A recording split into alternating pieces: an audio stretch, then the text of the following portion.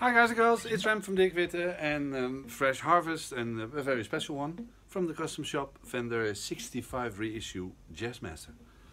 Relic, really nice. And um, this is how it sounds acoustically.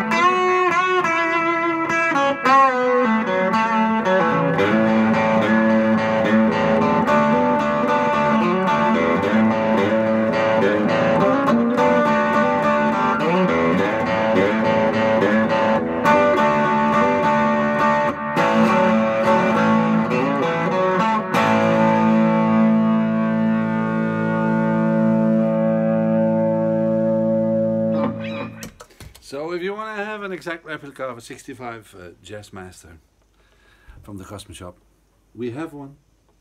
See you guys.